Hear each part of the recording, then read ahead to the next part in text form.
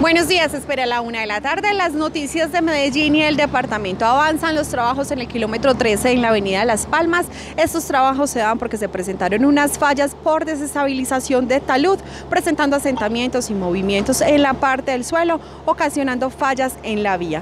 Este lunes iniciaron la tercera semana de los trabajos y estos están proyectados para que duren aproximadamente cinco meses. Están interviniendo el carril izquierdo en el sentido Medellín-Río Negro. La ampliación de esta noticia y muchos más hechos del departamento a través de nuestras redes sociales y a la hora 13, la hora de las noticias. Los esperamos.